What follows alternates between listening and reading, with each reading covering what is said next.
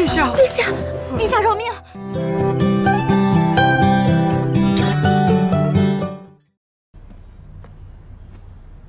臣参见陛下。说吧。启禀陛下，淑容妃，淑容妃状况不大好。如何不好？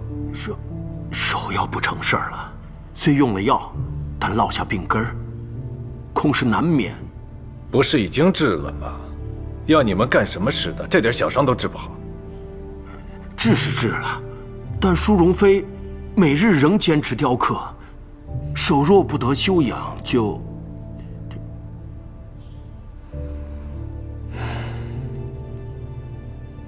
陛下，这这样恐怕不行啊！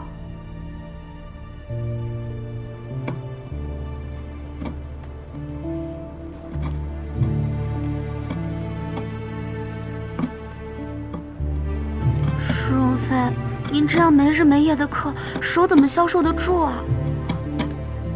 就当奴婢求您了，歇会儿吧。咱们这样提心吊胆的，您就当怜惜咱们了。陛下，陛下，参见陛下。陛下。免了。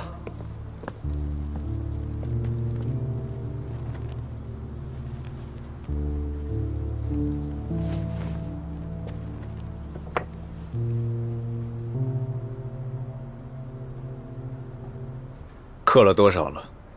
已经刻了大半了，再给臣妾一旬的时日，即可刻完。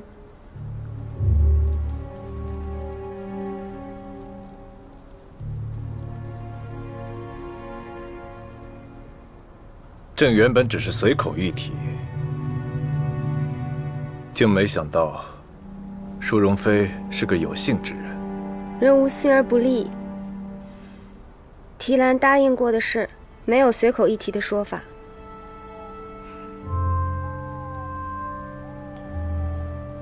可惜了，这些沾上血的脏了。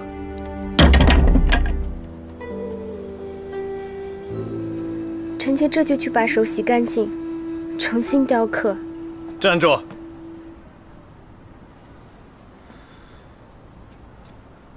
你以为你在做什么？故意把手用废了，好让众人议论朕刻薄寡恩是吧？